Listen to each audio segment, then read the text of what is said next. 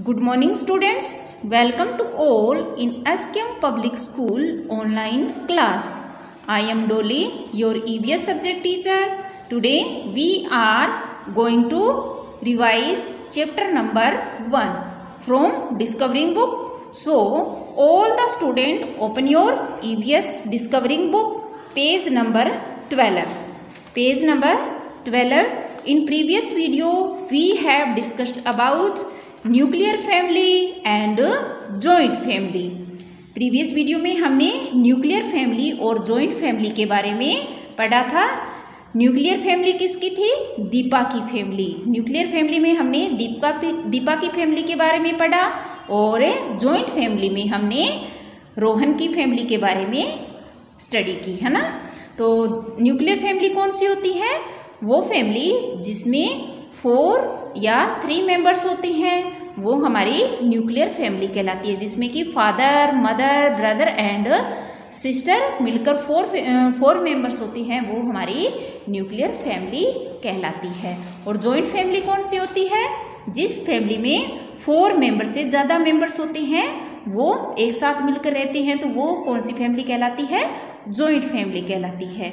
Joint family में कौन कौन होता है? Father mother grandfather grandmother uncle aunt cousins brother sister ये सब मिलकर जब एक साथ रहती हैं तो वो क्या कहलाती है? जॉइंट फैमिली कहलाती है। तो हमने न्यूक्लियर फैमिली और जॉइंट फैमिली के बारे में रिवीजन कर लिया।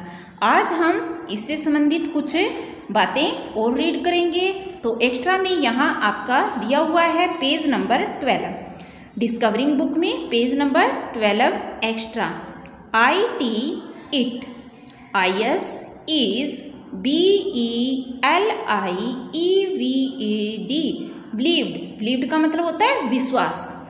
It is believe T H A T that T H E the. L A R G E S T largest largest का मतलब होता है बड़ी, यानी सबसे बड़ी।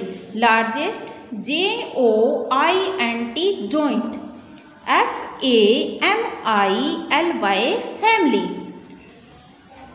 largest joint family I N in T H E the W O R L D world H A S has one hundred seventy eight M E M B E R S members members का मतलब क्या होता है? सदस्य.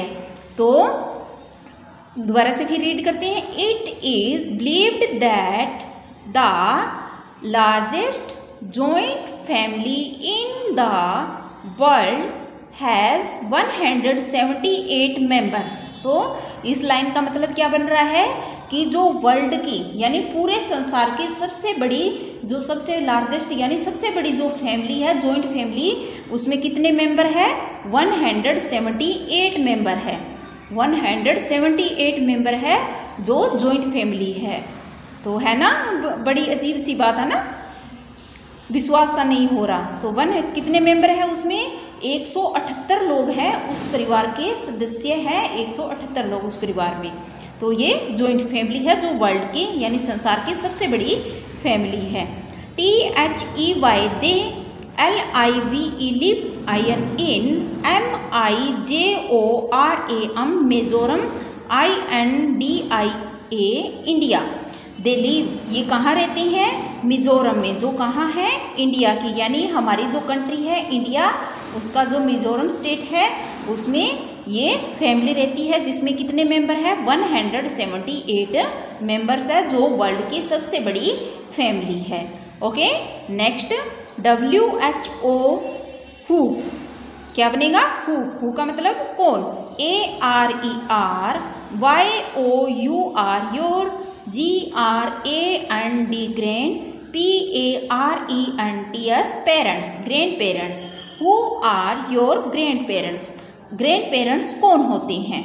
तो देखिए इसमें आगे क्या लिखेंगे? लिखा हुआ है T H E the P A R E N T S parents O F of M Y my M O T H E R mother A N D and F A T H E R father A R E are M Y M Y my G R A N D P A R E N T S grandparents the parents of my mother and father are my grandparents तो grandparents कौन होते हैं grand parents किसे कहा जाता है जो हमारे मम्मी पापा के मम्मी पापा होते हैं, उन्हें क्या कहा जाता है? ग्रैंड पेरेंट्स कहा जाता है। क्या कहा जाता है? दादा दादी यानी कि जो हमारे दादा दादी है, वो क्या है? हमारे मम्मी और पापा के दादा दादी नाना नानी वो हमारे मम्मी पापा के क्या है?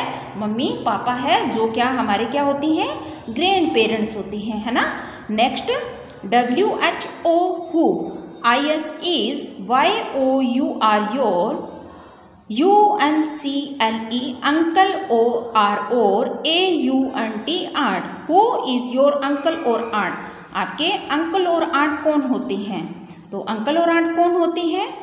T H E the B R O T H E R brother O F of M Y my M O T H E R mother O R or F A T H E R father I S I S is M Y my U N C L E uncle. The brother of my mother or father is my uncle. तो जो हमारे mummy papa के भाई होते हैं, वो हमारे क्या होते हैं? अंकल होते हैं। जैसे पापा के भाई, वो हमारे क्या होते हैं? अंकल। जिन्हें हम चाचा जी बोलते हैं और जो मम्मी के भाई होते हैं, उन्हें क्या बोला जाता है? उन्हें हम मामा जी बोलते हैं ना तो वो भी हमारे अंकल होती हैं। T H E the S I S T E R sister O F of M Y my M O T H E R mother O R or F A T H E R father I S is M Y my A U N T aunt the sister of my mother or father is my aunt यानी कि जो मेरे यानी कि जो हमारे mummy papa की sister होती है, वो हमारी क्या होती है? आंट होती है। यानी सिस्टर का मतलब होता है बहन। यानी मम्मी पापा की जो बहन है, वो हमारी आंट होती है। उन्हें क्या बोलते हैं? आंट बोलती हैं। है ना? तो मम्मी की बहन को हम क्या बोलते हैं? जिसे हम बोलते हैं मासी। और पापा की बहन को हम क्या कहते हैं? वैसे बुआ कहते हैं। तो बुआ जी और पापा की सिस्टर जो होती है, जिसे हम बुआ बोलते हैं, और मम्मी की जो सिस्टर होती है, उसे हम मौसी बोलते हैं। तो ये हमारी आंट कहलाती हैं और जो चाचा की मिसिज होती है, उसे भी आंट कहा जाता है ओके मामा जी की मिसिज होती है, उसको भी आंट बोला जाता है okay next W H O who I S is Y O U R your C O U S I N cousin cousin कौन होते हैं? कज़न यानी चचेरे भाई बहन होते हैं, उन्हें क्या बोला जाता है? कज़न बोला जाता है। H E the S O N son O R or D A U G H T E R daughter daughter का मतलब होता है बेटी द सन सन का मतलब होता है बेटा, और डॉटर का मतलब होता है बेटी.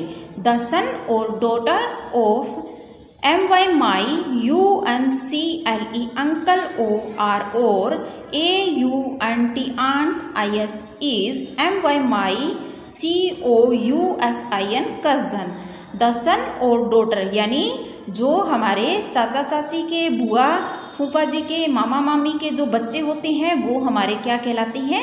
कजन्स कहलाते हैं, यानी जिन्हें हम बोलते हैं चचेरे चाचा चाची के जो बच्चे होते हैं, उन्हें क्या बोलते हैं? चचेरे भाई बहन और मामा मामी के बच्चे होते हैं, उन्हें क्या बोलते हैं? मेरे भाई बहन और बुआ और फूफा के जो बच्चे होते हैं, उन्हें क्या बोलते हैं? फूफेरे भाई बहन तो ये हमारे क्या कहलाते हैं? कज़न कहलाते हैं। तो कज़न की स्पेलिंग हम क्या राइट करेंगे? C O U S I N cousin है ना? डॉटर की D A U G H T E R daughter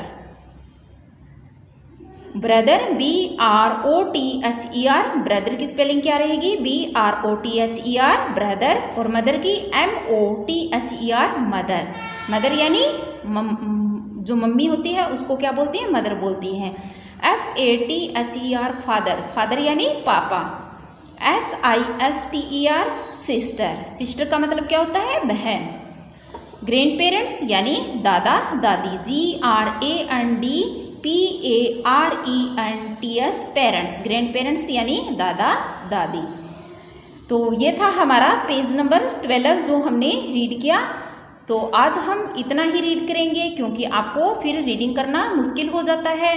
तो इसलिए आज मैं सिर्फ़ पेज नंबर ट्वेल्व का ही रीड करवाऊँगी, उसको इतना ही रीडिंग करवाऊँगी। आप ये पेज नंबर ट्वेल्व जो है, इसको अच्छे से दोबारा से फिर रीड कर लीजिएगा। ओके स्टूडेंट नेक्स्ट क्लास में हम फैमिली वैल्यू जो टॉपिक है, उसको हम रीड करेंगे। Okay student okay thank you